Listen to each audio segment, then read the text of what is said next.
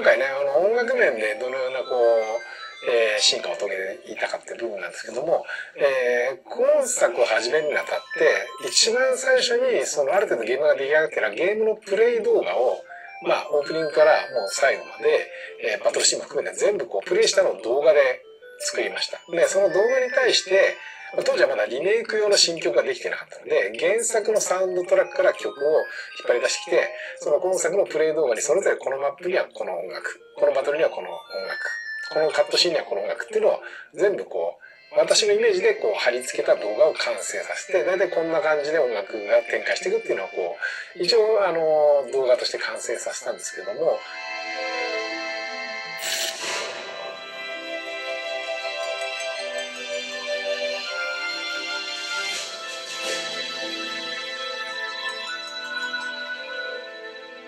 あの、最初はそれで進めてはいたんですけども、あの、現場特にその、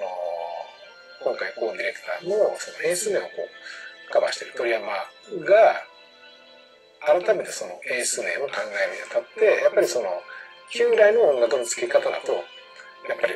古く映ってしまうので、現代のプレイヤーでは。なので、えーまあ、僕の動画を参考にしながらであるんですけども、現代のプレイヤーにしっかりとあの響くように、よりこう、ゲームの流れに沿った、もしくはストーリーの流れに沿って、こう、シームレスにリニアにこう音楽が移り変わっていくっていうプランに、こう、設置したのが、そのコディレクター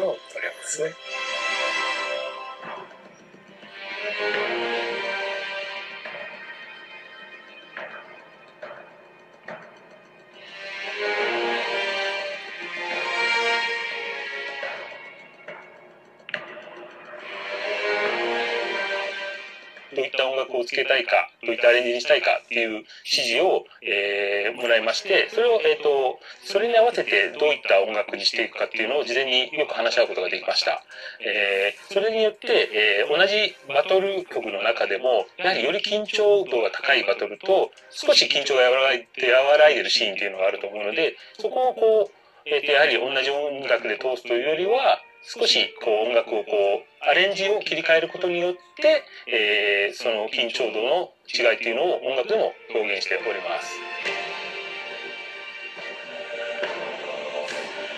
近年やっぱり世界中見ても割とインタラクティブミュージック、えー、と状況によってこう音楽が切り替わって、っていう演出っていうのが結構多くなってきてる。まあ、セブンリメイクも他でもなく、やはりそこを取り入れてます。で、あるシーンとかでしたら、3バージョンある曲で、テンポが全部一緒。構成が全部一緒。メロディーが入る場所が全部一緒。ただ、アレンジが全て違う。で、3本同時になってて、こう、うん、クロスフェードさせて、うん、自由に切り替わるっていう演出をしてるんですけど、うんと、まあ、なんですかね、うん、すごく上手な DJ プレイみたいな感じですね。なだらかにこう、うんまあ、場面の展開に、えー、それぞれ寄り添ったその、えー、楽曲を、えー、シームレスにつなげていくということで、あのー、まあ、感情のあの起伏の高い盛り上がるところが、えー、そういう音楽が好きでそこから急にこう静かになったりするところはあのこう無理なくこう自然にこう、えーまあ、プレイヤーのプレイヤーとそしてあの、まあ、映像シーンの、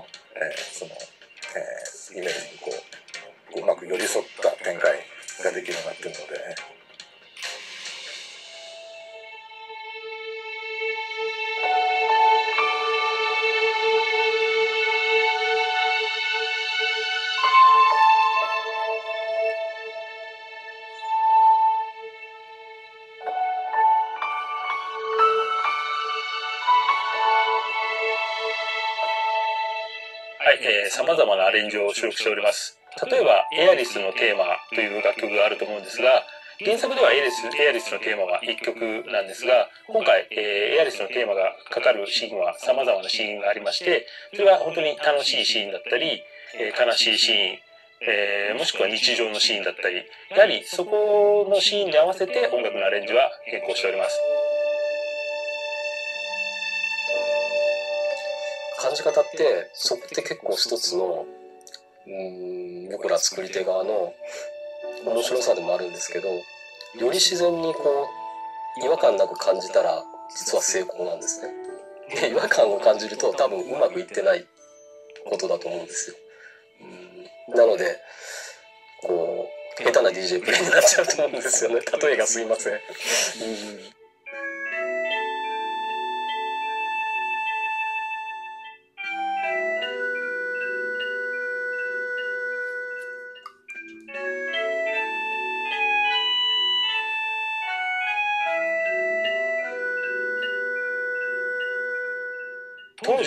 えやはりそのグラフィックに対してついている音楽は内蔵音源というものでなっていたんですが、やはりハードの制約を受けていたことにより、表現を、え抑えなければいけない部分があったりとかしたんですが、今回ハードの性能が圧倒的に上がったことにより、えーグラフィックの表現、えーカットシーンでの表現力が上がったので、音楽の方もそれに合わせる形で表現力をアップさせました。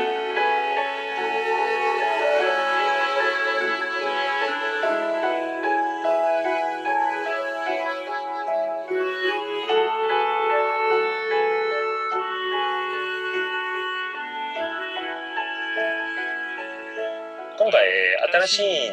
シーンに対して、えーえー新しいアレンジだったりとか、新規の、えーテーマ等を当てたりしているんですが、えー原作のですね、音楽がとても素晴らしかったので、えー新しいシーンに対して、えー新しいアレンジ、新しいテーマを当てるっていうのは、だいぶプレッシャーがかかる部分ではあったんですが、やはりそこは、えー今回絵の表現力だったりとか、えーあと、一番大きいのはですね、昔いなかったダイアログ、セリフが入ったことが大きくてですね、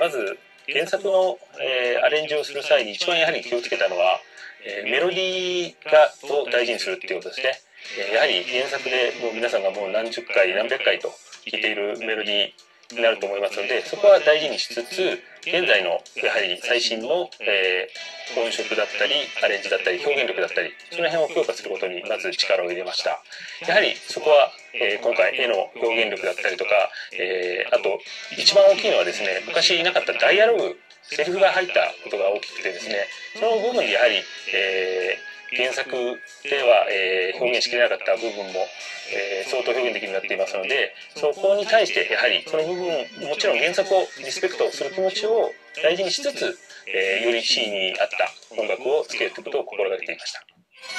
今回上松さんの方にはテーマソングとして1曲制作していただきました、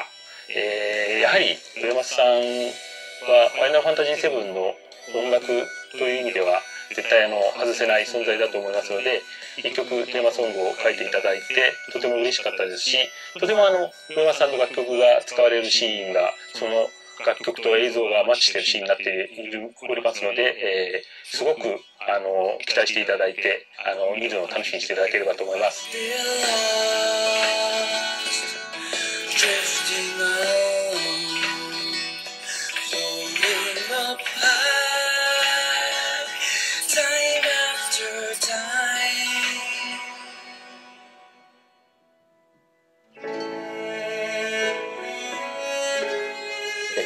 で代表される曲のアレンジが複数あります。で、えーっとね、本当にもうこうなんか、原曲に忠実に再現してる曲もあれば、もう空耳的にしか聞こえないようなアレンジだったりとか、やっぱり、うん、意識しちゃうとやっぱり元もなかなか超えられないっていうのがあるから、あの、なるべく自然に。もう、だから新曲取り組むのと同じ姿勢でそこはやってます。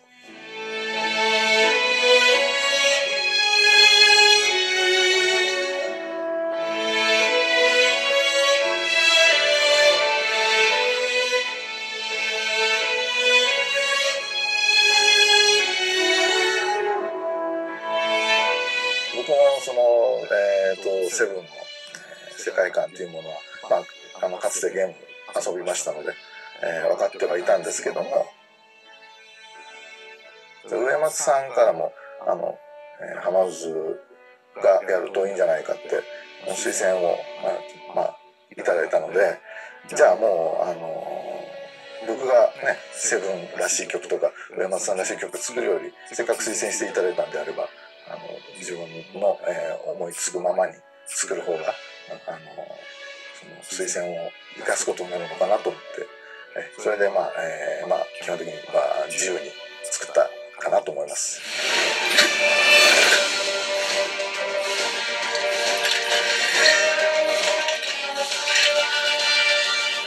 今回、えっと、マスクというシステムをオリジナルで作っているシステムがあるんですけれども、サウンド部で作っているシステムなんですけれども、えー今回ちょっと FF7 リメイクで一から作り直していて、えーまあ、抜本的に改良しているんですけれども、まあ、それをやることによって、えーあれですね、人物の動きすべてを、えー設定した音から、えーあれですね、骨の速度とか加速度を見て、えそれによって音を変化させて自然な音を鳴らせないかどうかっていう挑戦をしている。ですね。それを、えー、全てね、プレイヤー、エネミー、えーノンプレイヤーキャラ、えーモブ、まあボスの一部なんですけども、えーその設定を入れ、えーインゲームからカットシーン全てにおいて繋がって自動で音を鳴らしていて、えーそれが自然にできるような調整を行っています。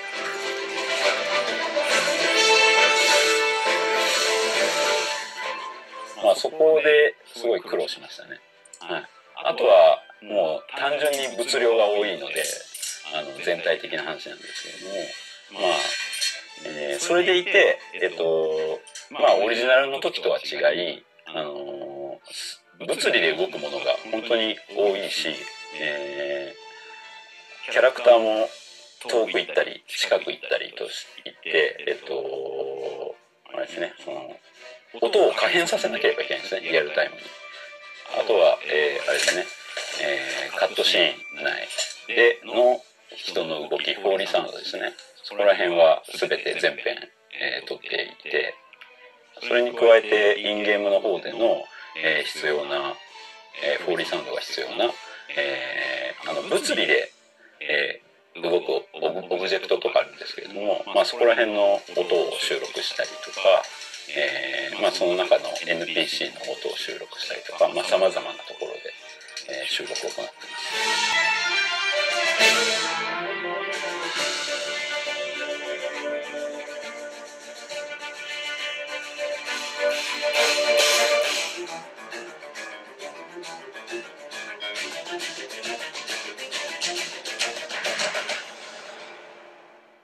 まあ、僕はあの「ファイナルファンタジー7は」えー実際に、えーまあ、オリジナルの方を、えー当時プレイしてますしで何より僕はそのそのオリジナルに、えー開発でかか、えー関わってまして、えーコーラスセフィロスのコーラスで僕も歌ってまして、えーまあ、上松さんとの、おまあ、仕事を、まあ、手伝って最初の仕事になったと思いますね。やはりですね、えっ、と、原作が好きだった方もたくさんいると思うんですが、今回リメイクを通して新しくこのファイナルファンタジー7に触れていただく皆様も多いと思いますので、その新しく今回ファイナルファンタジー7の音楽を聴いていただいたときに、あ、ファイナルファンタジー7の音楽ってやっぱりかっこいいなって思っていただいて、で、えっ、と、今回の触れていただいたきっかけに、また昔のファイナルファンタジー7の音楽にもまた触れていただいて、あ、昔の音楽もすごい良かった、両方良かったって言っていただけるように、えー思っていただけるように、えー考えて意識して作りました。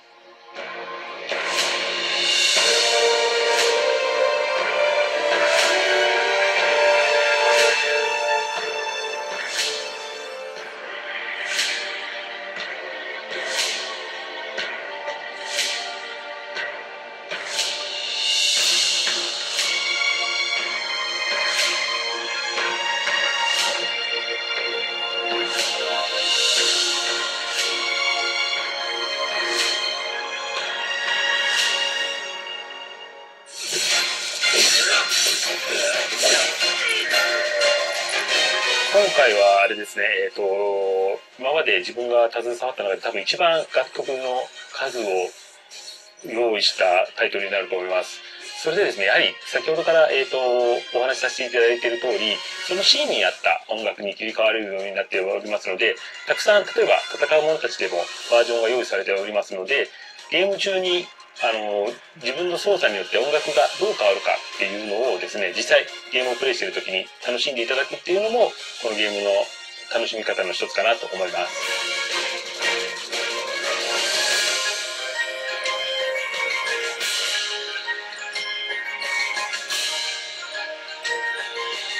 あの、オリジナルを、あの、遊ばれた、まあ、ユーザーの方は、あの、あ、こんな、そのセブンにはこんな深い、あの、あの知らなかった世界があったんだって、そういう楽しみ方できると思いますし、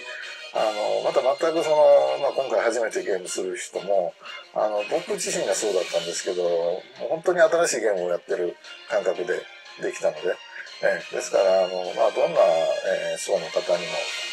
えーかなり、えー楽しんでいただけるんじゃないかなと思ってます。